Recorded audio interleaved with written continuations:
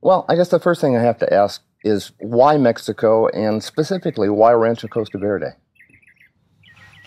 Well, I've worked with a lot of Latin families in the Sacramento area in schools, and I love the, the, attention that the parents gave to the children and all the support that they gave.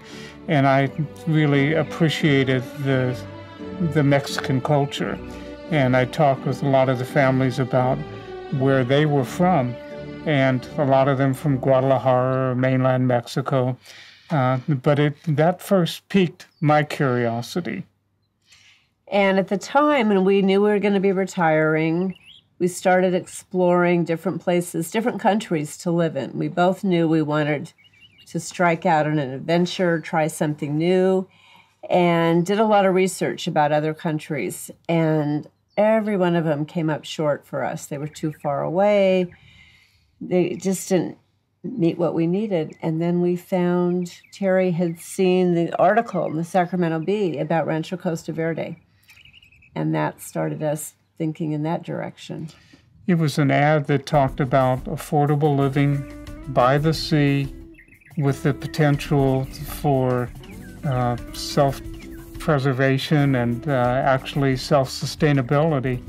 And all of that sounded great to me. And I knew that the Sea of Cortez was what Jacques Cousteau called the world's aquarium, just how prolific the fish, the birds, the mammals uh, were in the Sea of Cortez. And the fact that we could drive across the border, be back in California in about three hours, was extremely appealing. When you say you can be back in California in three hours, did you find the drive, at least at first, long or tedious? the first few times it seemed very long, and now it's second nature. It's just not a big deal. Terry's had a few times. He's gone up, gone shopping, come back, all in one day. So it's not out of the question at all to do it. And it really is close. If you need to get to the States, it's it's a quick and easy I don't want to say quick and easy, but it's not like getting on an airplane. The places that we were looking at would have been hours and hours and hours if we had to get back to California. Yeah, days and days and days. And this is fairly simple. And the other part to it is that there's very little traffic. If we see two cars in a row, it's a traffic jam. And so we can cruise along, and it's really a very comfortable drive.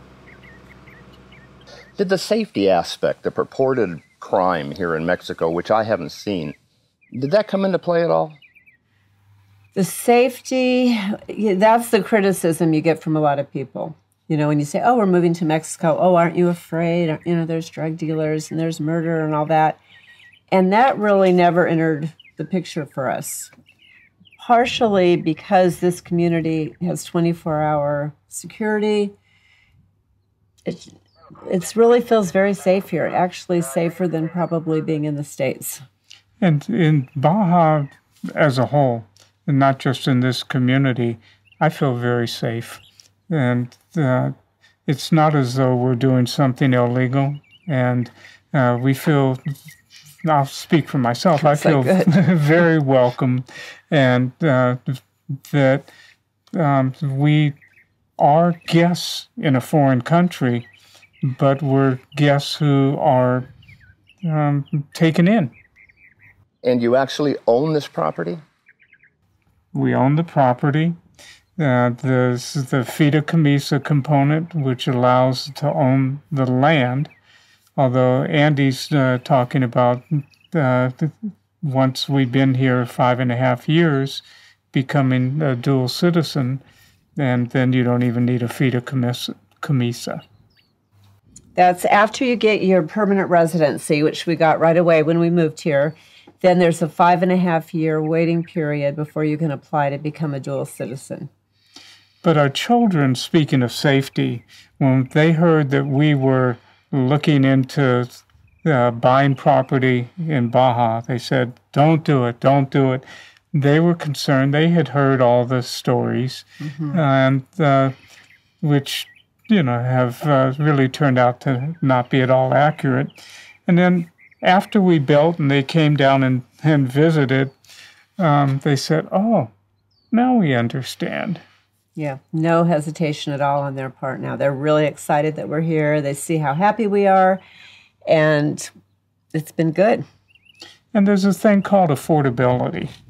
Um, our son was talking to Andee and saying, uh, Do you think that dad ever in his wildest dreams would have thought that he would be living by the sea in a custom built home? And the answer to that is no. But it's reasonable here. It's not only affordable to buy land and build a home, but the cost of living is so affordable that it gives us discretionary income to do a lot of traveling. What did you folks do before you retired in your workaday world? I, well, for many, many years had my own company and was involved in after school enrichment programs and child care centers and we did just a number of really fun educational programs for kids. I spent the last 10 years of my career at the University of California at Davis in the School of Education, and I was running enrichment programs and international teacher education programs. And I worked in schools almost my entire career. I was mainly a, a counselor and uh, became a community school director, administrator. And Andee only gave you part of the story. Neither of us worked just one job at a time. We always had something else that we were doing. Uh, the main something else I was doing was working as a mobile DJ, which uh, the whole family got involved in. And so uh, we put in a lot of hours and um, worked really hard rewarding for the most part. And now we get to retire and, and enjoy this next chapter. Do you want for anything down here? Do you lack anything? Stress. Stress. Um, we don't want it. We're not looking for it. We're, I feel we've made just a complete lifestyle change. It's just, you know, we've gone from working, you know, lots and lots of hours, being on the go, oh, lots of friends, lots of social activities, to this nice, slow, serene lifestyle where we have, you know, we walk about three hours a day. We have time to do journaling, to do meditation, to do a lot of reading. Um, Last week we went kayaking three days in a row. And then I took uh, people who had never caught fish out fishing two days in a row. And they were amazed at how much they were able to catch. Kept, kept some, released some. A lot of people eat a lot of fish here. There, if you're looking, you know, when we've met different people that have come down to look around here, say, you know, if you're looking for lots and lots of nightlife and lots of fast movement and activity and uh, all of that, this is not the place. You know, it's just not. It's a, you know, it's a drive to get into San Felipe, not not a long drive, but a drive. And there's just, you know, nothing right in our immediate area here for I'd call it entertainment.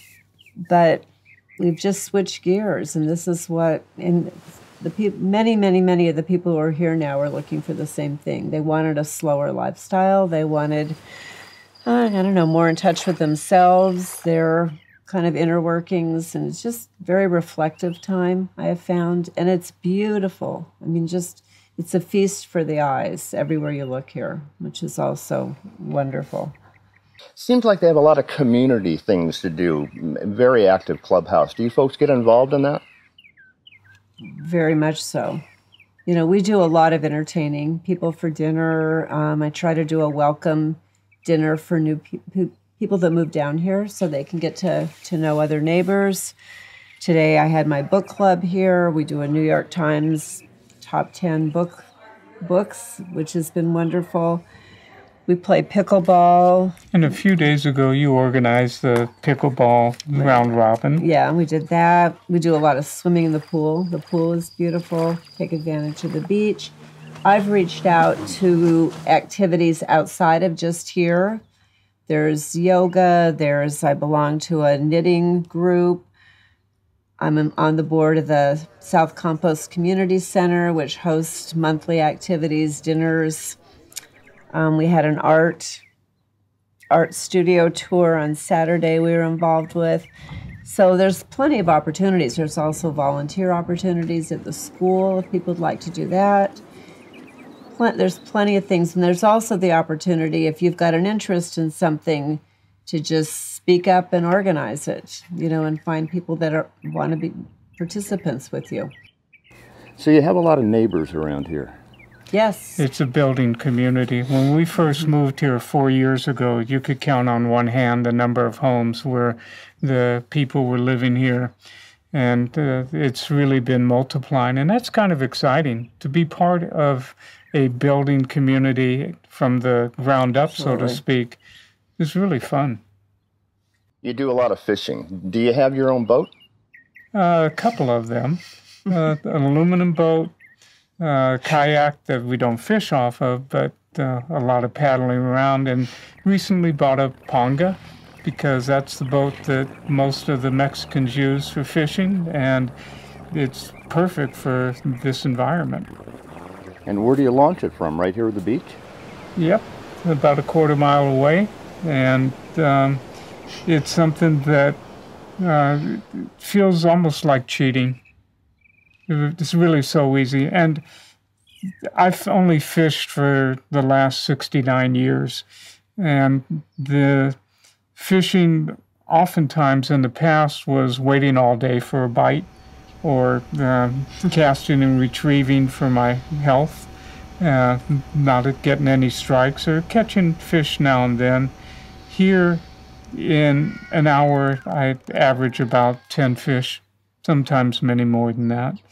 And again, release more than we keep. We want there to continue to be the prolific fishing. But fishing is just another excuse to be on the water for me. Um, because the water is right here and we can walk to it in four or five minutes, I uh, don't need to always fish. Just most of the time. Do you see a lot of wildlife out there? I hear there's a lot of it out there. Andee, how about telling them about the last couple week weeks ago? we were out we were out on a kayak, and all of a sudden there must have been 500 birds surrounding us. They were doing what? what do you call it? A feeding frenzy? Mm-hmm. Just diving, diving, diving, and splashing, and huge spouts of water going everywhere. It was just unbelievable being right in the middle of that, and We've seen what turtles out there, sea lions, uh, the dolphins. Dolphins. You've heard the whales a couple weeks ago. It's magnificent. Lots of wild wildlife out there and around. And finally, would you do anything differently if you had it to do all over again? It would have been nice to have come sooner, but uh, it wasn't really happening that much sooner than we came.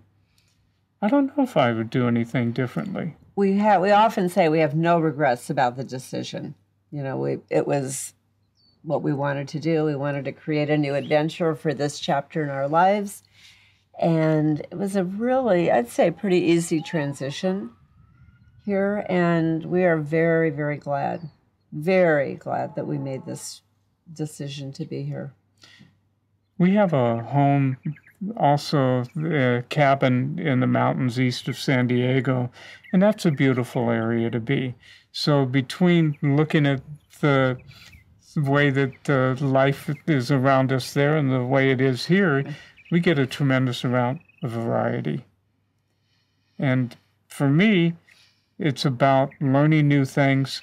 I knew that physically I could do well and have the downhill uh, curve kind of gradual by taking good care of myself and getting a lot of exercise and activity. But mentally has always been something that I was concerned about getting older, wanting to continue to have new challenges and keep the mind going. And um, moving to a new country and being in a different environment has been really good for keeping that learning curve going.